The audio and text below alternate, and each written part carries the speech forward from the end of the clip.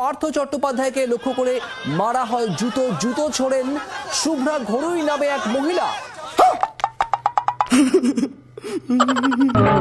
কেন কেউ চায় না আমায়? কি দোষ আমার বলো?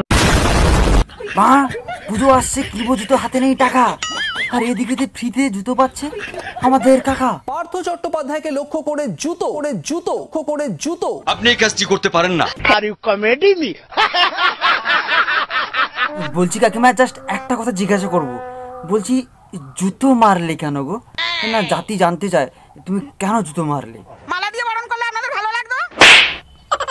আমার মায়ের গায়ের রাগ ছিল আমি ওনাকে জুতো মেরে শান্তি হয়েছি এবার আমাকে ছেড়ে দিন দয়া করে। গায়ের রাগ ছিল আমি ওনাকে জুতো মেরে শান্তি হয়েছি। বা পলিটিক্যাল সায়েন্স নিয়ে পড়েছিলাম মন্ত্রী হব বলে। কিন্তু কিন্তু ভাই জুতো মারার কেস দেখে সব ইচ্ছে গেছেই চলে।